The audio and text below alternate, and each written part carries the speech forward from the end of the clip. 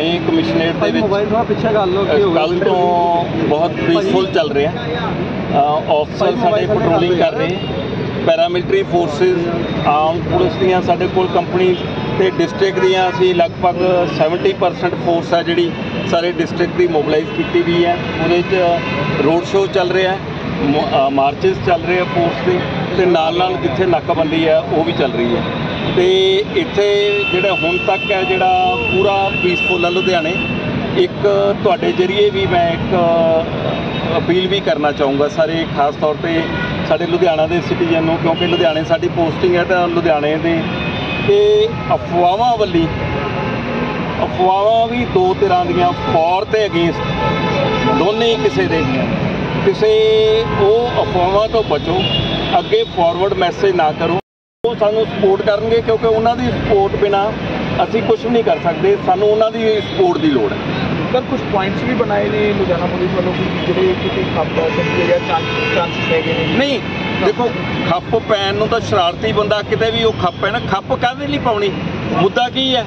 ਮੁੱਦਾ ਇਹ ਹੈ ਵੀ ਜੇ ਕਿਸੇ ਤੇ ਕੋਈ ਪਰਚਾ ਦਰਜ ਹੋਇਆ ਤਾਂ ਉਹਨੂੰ ਗਵਰਨਮੈਂਟ ਫੜ ਰਹੀ ਹੈ ਤਾਂ ਉਹਨੂੰ ਫੜਿਆ ਹੀ ਜਾਣਾ ਉਹਨੇ। ਉਹਦੇ 'ਚ ਖੱਪ ਪੈਣ ਦਾ ਤਾਂ ਕੋਈ ਹੈ ਹੀ ਨਹੀਂ। ਇਹਦਾ ਮਤਲਬ ਕੋਈ ਖੱਪ ਦਾ ਤਾਂ ਕੋਈ ਇਸ਼ੂ ਹੀ ਹੈ ਨਹੀਂਗਾ ਬੇਸਿਕ ਇਹ ਹੈ ਵੀ ਕਿਸੇ ਦਾ ਨਾਂ ਲੈ ਕੇ ਕਿਸੇ ਨੂੰ ਕੋਈ ਡਰਾਵੇ ਨਾ ਕਿਸੇ ਨੂੰ ਕੋਈ ਖਰਾਬ ਨਾ ਕਰੇ। ਆਮ ਲੋਕਾਂ ਨੂੰ ਤੰਗ ਪਰੇਸ਼ਾਨ ਨਾ ਕਰੇ। ਇਹ ਸਾਡਾ ਮਕਸਦ ਹੈ ਤੇ ਲੁਧਿਆਣਾ ਹਮੇਸ਼ਾ ਹੀ ਚੰਗੇ ਲੋਕਾਂ ਦੀ ਰੇਸ਼ੋ ਹੈ ਜਿਹੜੀ ਲੁਧਿਆਣੇ ਮਾੜੇ ਲੋਕਾਂ ਨਾਲੋਂ ਜ਼ਿਆਦਾ ਸਾਡੇ ਪਹੁੰਚਣ ਤੋਂ ਪਹਿਲਾਂ ਲੋਕ ਉਹਨਾਂ ਨੂੰ ਸਮਝਾ ਦਿੰਦੇ। ਜੇ ਨਹੀਂ ਸਮਝਣਗੇ ਜਿਹੜੀ ਭਾਸ਼ਾ ਉਹ ਸਮਝਣਗੇ ਉਸੇ ਭਾਸ਼ਾ ਨਾਲ ਹੀ ਅਸੀਂ ਸਮਝਾਉਣ ਲਈ ਤਿਆਰ ਹਾਂ ਯਕੀਨ ਵੀ ਹੈਗਾ sir Ludhiana police Punjab police ਲੋਕ? ਵੀ ਉਸ ਗੱਲ ਦਾ ਕਿਉਂਕਿ ਬਹੁਤ ਸਾਰੇ ਲੈਵਲ ਤੇ ਨਿਗਾਹ ਰੱਖੀ ਜਾ ਰਹੀ ਹੈ। ਜੇ ਉਹਦੇ ਚ ਉਹਨੂੰ ਇੰਟਰਨੈਟ ਦੀਆਂ ਜਾਂ ਮੈਸੇਜ ਦੇ ਵਿੱਚ ਵੀ ਨਿਗਾਹ ਰੱਖੀ ਜਾ ਰਹੀ ਹੈ, ਅਸੀਂ ਨਹੀਂ ਚਾਹੁੰਦੇ ਵੀ ਕਿਸੇ ਦਾ ਜਿਹੜਾ ਭਵਿੱਖ ਖਰਾਬ ਹੋਵੇ। ਪਰ ਜੇ ਸ਼ਰਾਰਤ ਕਰੋਗੇ, ਤਾਂ ਫਿਰ ਉਹਨੂੰ ਅਸੀਂ ਸਖਤ ਐਕਸ਼ਨ ਲਵਾਂਗੇ। ਅਸੀਂ ਸ਼ਾਂਤੀ ਪੂਰੀ ਬਣਾ ਕੇ ਰੱਖਾਂਗੇ। ਸਾਰੀ ਫੋਰਸ ਇਸ ਕੰਮ ਲਈ ਲੱਗੀ ਹੋਈ ਹੈ।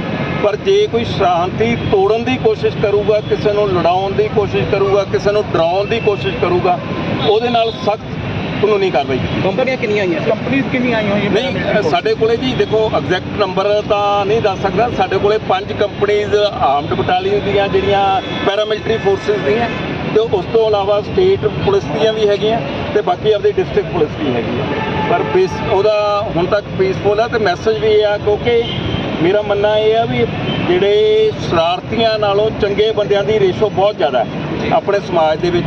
ਤੇ ਇਸ ਕਰਕੇ ਜਿਹੜੇ ਥਾਣਿਆਂ ਦੀ ਵੀ ਅਰਾਊਂਡ 250 ਦੇ ਅਰਾਊਂਡ ਫੋਰਸ ਇਕੱਠੀ ਕੀਤੀ ਹੈਗੀ ਹੈ। ਸਾਡੇ ਕੋਲ ਦੋ ਆਰਐਫ ਦੀ ਕੰਪਨੀਆਂ ਹੈਗੀਆਂ ਜਿਹ 'ਚ ਅਰਾਊਂਡ 250 ਦੇ ਅਰਾਊਂਡ ਬੰਦਾ ਉਹਦੇ ਵਿੱਚ ਹੈਗਾ।